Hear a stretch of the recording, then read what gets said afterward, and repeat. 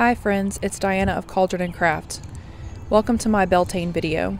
If you're new here, I like to find the magic in the everyday, and that's what I explore on this channel. I hope you enjoy these scenes from my morning walk. When I first started this channel a couple of years ago, one of my goals was to create a video for each of the spokes of the Wheel of the Year, which Beltane is one of them. And I didn't make one for Beltane then because I was so busy. And it's understandable that we always have so much going on in the springtime because we are fully out of hibernation, everything is in bloom, there are so many projects to do, and including going on your mental health walks. And so this is my first time actually making a video for Beltane, a full video.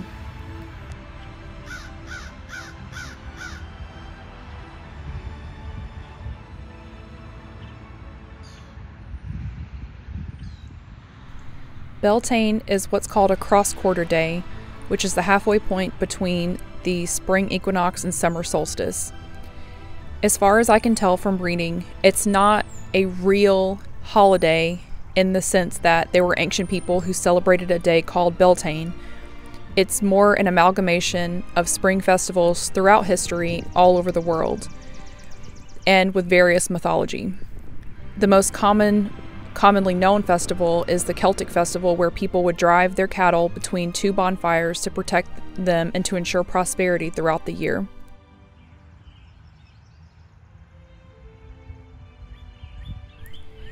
May Day is a more modern festival that leans into the fertility aspect of Beltane. One of the most commonly suggested things to do for celebrating the Wheel of the Year is to get outside in nature and experience it. No matter what time of year, you can always be in the moment and absorb what's around you. I live in a smallish town, but it's basically in a city. So I don't have rural countryside right outside my door. It's close, but it's not right outside my door. So I go to local parks, which do have an abundance of wildlife, as you can see through my videos, and I get to enjoy the scenery there.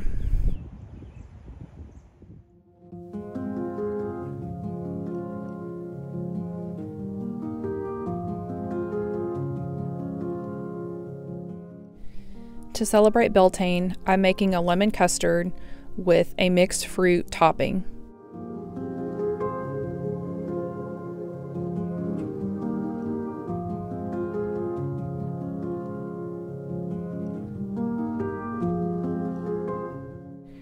Ways to celebrate Beltane could be a picnic in the park, going to festivals, gardening, and generally just being outside.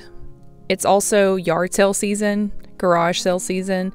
Many people are clearing out clutter, and it's good to go a good time to go treasure hunting for that purpose.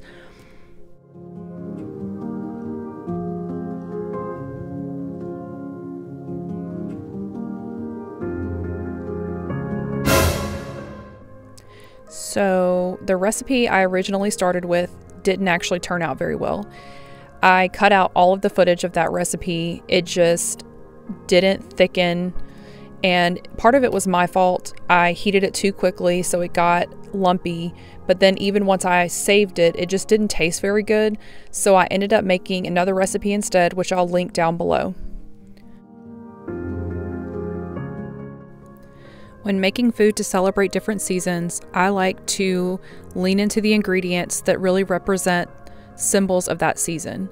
So, in this recipe, the lemon is going to symbolize the sun and how the sun is returning to its maximum strength, which it will be at the max at the summer solstice. The berries are in season, so it's a good way to celebrate the abundance that we are currently experiencing in the spring. And I'll put graham cracker crust at the bottom of the dish to symbolize the earth itself. So the earth, the sun, and the abundance all represented in one delicious bowl.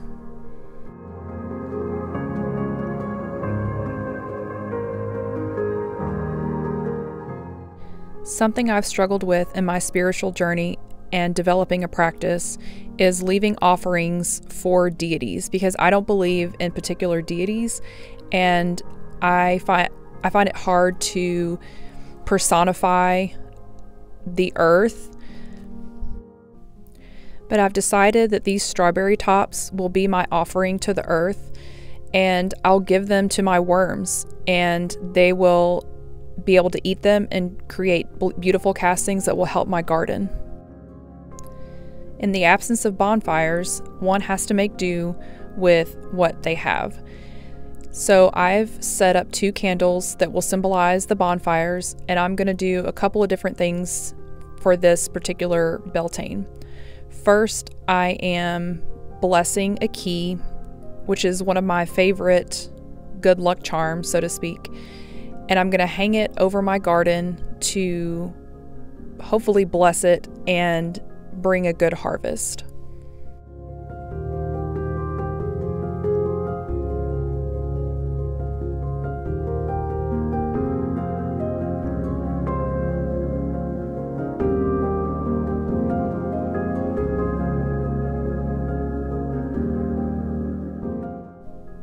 Next, I'm writing some things down, things I'm thankful for that I've accomplished in the last season and the last year, and also things that I want to accomplish in the coming season and the coming year.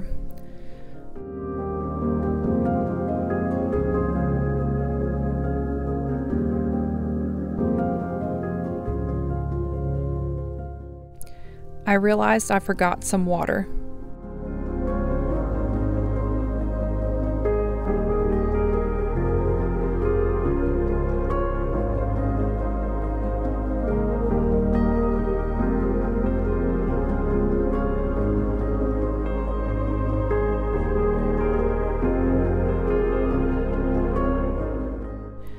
I'm going to pass this through the flames as well, and then I'm going to set it under the water while I meditate on my intentions.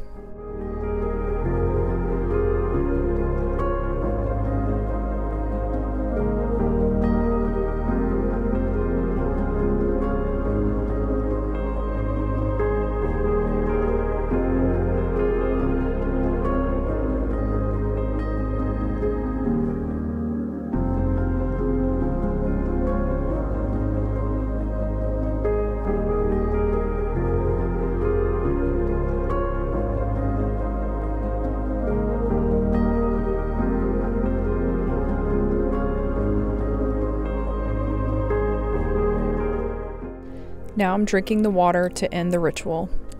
Time for dessert.